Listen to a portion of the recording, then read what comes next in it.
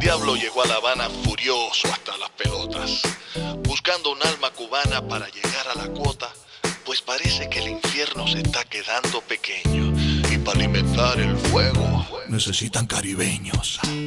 Se puso una guayabera, prendió un puro Satanás. Quería que todos creyeran que él era un cubano más. Y comenzó a caminar con rumbo hacia el malecón cuando de pronto en aquella esquina algo llamó su atención. Era Cheito el trecero, virtuoso de su instrumento, con su traje de rumbero derrochando su talento. El diablo con actitud y ganas de desafiarlo le dijo, yo toco mejor que tú y estoy dispuesto a probarlo. Si me vences te regalo un tres de oro macizo y diamantes, pero si pierdes cubano, con tu alma tengo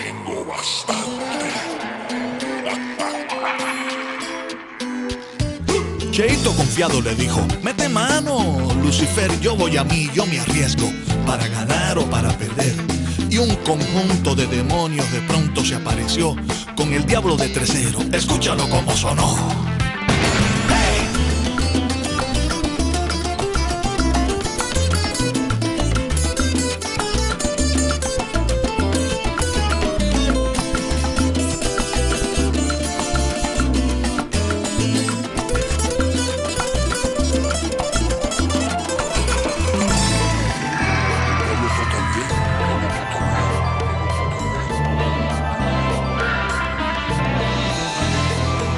Lo miró fijo y le dijo, tú sí que sabes tocar, pero en la casa del trompo nunca se debe bailar. Hacer no te hagas loco y observa con interés para que aprendas un poco. Así es que se toca el 3, 3, 3, 3.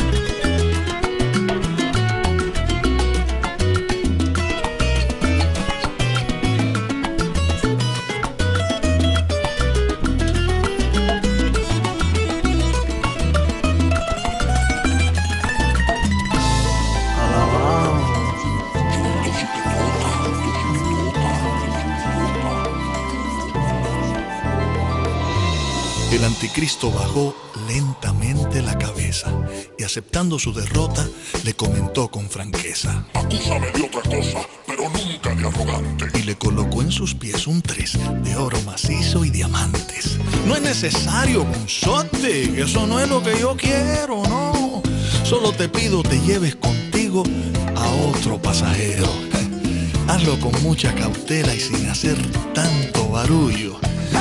Llévate a ese sinvergüenza Llévate al amigo tuyo, a ese que nos desgobierna, que nos oprime y maltrata, al que nos cortó las alas, a esa culebra, a esa rata.